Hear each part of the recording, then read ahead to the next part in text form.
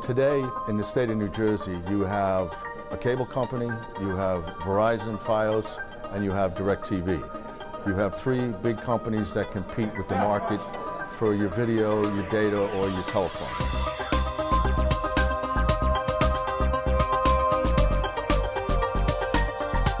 They're going to offer packages together as one company, basically. Prices are only going to go up, options are going to go down. Cable companies and phone companies. We're here in the Capitol building today in, in Washington to meet with as many senators as we can. We don't see this as a win to the consumer. This is a win for Verizon and big business.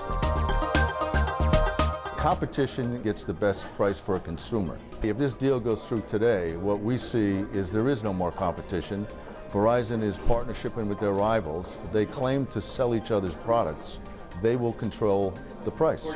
Basically, Verizon Wireless is trying to create a monopoly. Is what Verizon will do is stop building out the new Fios high-speed internet, broadband service for the country.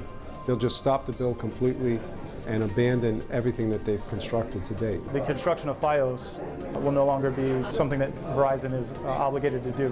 Which means no job opportunities, no future job opportunities, and it will allow them to partner with non-union cable companies for, you know, at a reduced rate and, and, basically abandon the people who've made the business as successful as today, which are the employees. The Verizon Spectrum deal is a, a bad deal.